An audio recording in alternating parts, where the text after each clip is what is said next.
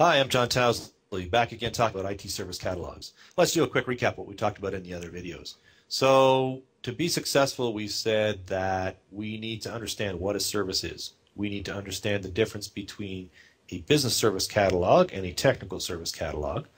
And we need to be able to define services from the bottom up, that is, technical service catalogs and working our way backwards.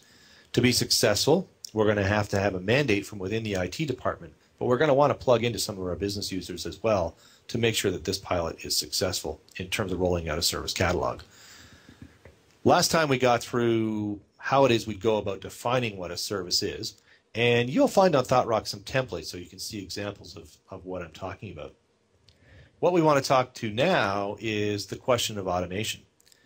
Clearly, in a lot of organizations, our users are going to expect to be able to browse to an intranet site uh, or some kind of a tool to see what services are available and re- request that service for a new employee or if an employee's moved into a new department, whatever the case may be.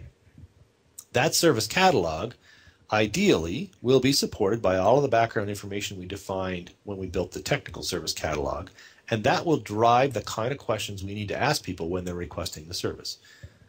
Now, the question about automation really comes down to looking at build versus buy and which vendors provide the best tools to suit our environment. All of the normal things you would do as an IT professional to answer those questions for any application apply to you. The shoemaker's son never has shoes, but you got to have something on your feet. So take a look at your normal project planning for applications. In the case of the ITSM world, most of the vendors are driving towards integrated solutions. If you already have a service desk application for incident problem tracking, a change application, a CMDB, you may want to find out what the service offerings are from the vendor you're using for those applications.